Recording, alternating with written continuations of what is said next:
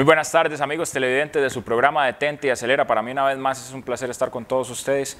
Hoy hablando de lo que es esta marca prestigiosa como lo es la marca Freestone en cuanto a lo que son aditivos para el sistema de enfriamiento. Estamos en el mes de verano, estamos en el mes de marzo y bueno, es importantísimo recordarle a la gente que eh, uno de los problemas más graves en carretera es el tema del sobrecalentamiento. ¿Por qué tenemos este tipo de problemas? Bueno, podemos verlo desde el punto de vista o simple de ver un tapón de radiador en malas condiciones. También puede ser que estemos usando agua en el sistema y por lo cual el punto de ebullición del agua es muy bajo, por lo cual se evapora muy fácilmente.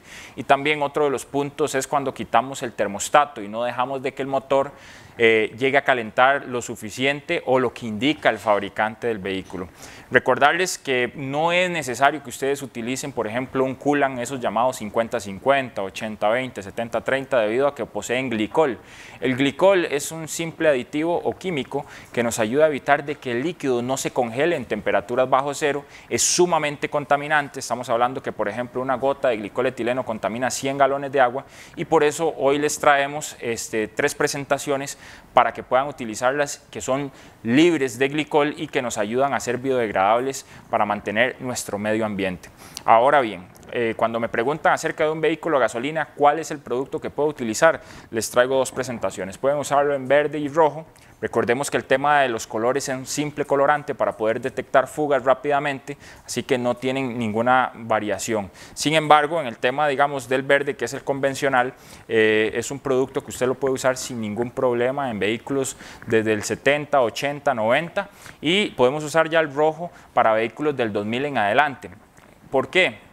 Muy sencillo, por ejemplo, los sistemas de enfriamiento, obviamente las aleaciones metálicas que encontramos en dicho sistema, conforme ha ido aumentando la tecnología automotriz, vemos otro tipo de materiales internos dentro del sistema. Ya no solamente vemos hierro, sino que también podemos tener plástico, cobre, aluminio, entre otros materiales. Entonces es importante tener una protección o un aditivo protector para ese tipo de materiales que encontramos en el sistema. Ahora bien, si usted me consulta, mira Oscar, mi carro es diésel, aplicar alguno de estos dos, pues no lo recomiendo. ¿Por qué no lo recomiendo?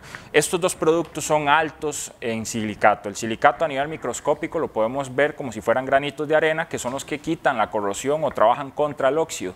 En motores de alta cilindrada, 4x4 o vehículos diésel, tenemos el problema de que si son altos en silicato, ese tipo de granito llega a quitar, por ejemplo, lo que es no solamente el óxido, sino también a comerse el metal. Por eso necesitamos un producto que sea bajo en silicato, como lo es el Freestone Diesel, que nos permite, por ejemplo, evitar ese tipo de, ese tipo de problema perdón, a larga, largo plazo, por decirlo así, y darnos la protección debida al sistema como tal. Así que estas son las tres presentaciones más comunes que encontramos en carretera. Si usted quiere saber más información acerca de estos productos, pueden llamarme al 8509-2121. También puede escribirnos a través de la página en Facebook, búsquenos como importador Akigo, o también nos pueden escribir a través de nuestra cuenta en YouTube o en la, en la cuenta de Instagram. Búsquenos como importador Akigo, en donde podrán ver material de aplicación y también este, más información acerca de todos los productos que Grupo Kigo tiene para todos ustedes.